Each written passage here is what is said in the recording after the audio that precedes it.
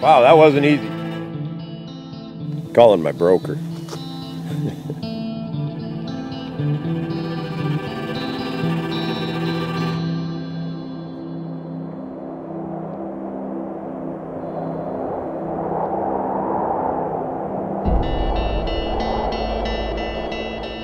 First night I got here, I think I went out on the town and there was uh, there was an amazing bar fight, chairs flying and everything else. I'm like, oh yeah, this place has potential.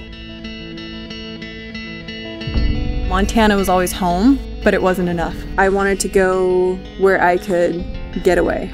There were too many people in Montana for me, and then came up to Alaska, and I said, I'm not leaving. I fell in love with Alaska as soon as I got here, primarily because of the type of people that live up here. And there's a lot of camaraderie. People come to Alaska because they don't quite fit in anywhere else. And then, of course, the aviation is the, the aviation capital of the world. You know, so I'm an aviator. I love aviation, so it's a perfect fit.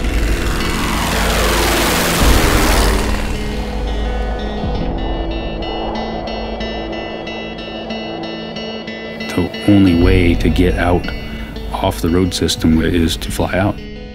There's a whole nother world that's there that you never even knew existed.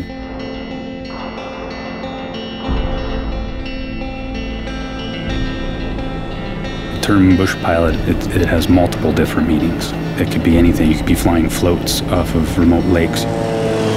So you could be flying a ski plane off of glaciers. You could be flying a big tired bush plane. Aviation in Alaska in general is critical. I've just really enjoy backcountry type flying. And then that naturally just leads you to Alaska.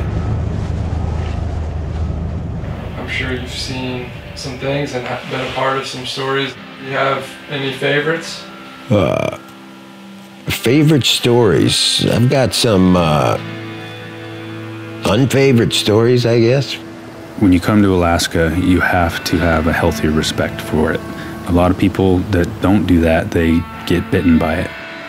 Since flying is the only way to get around here, I mean, we assist in uh, accidents and other tragedies. It's not routine. Every day is different.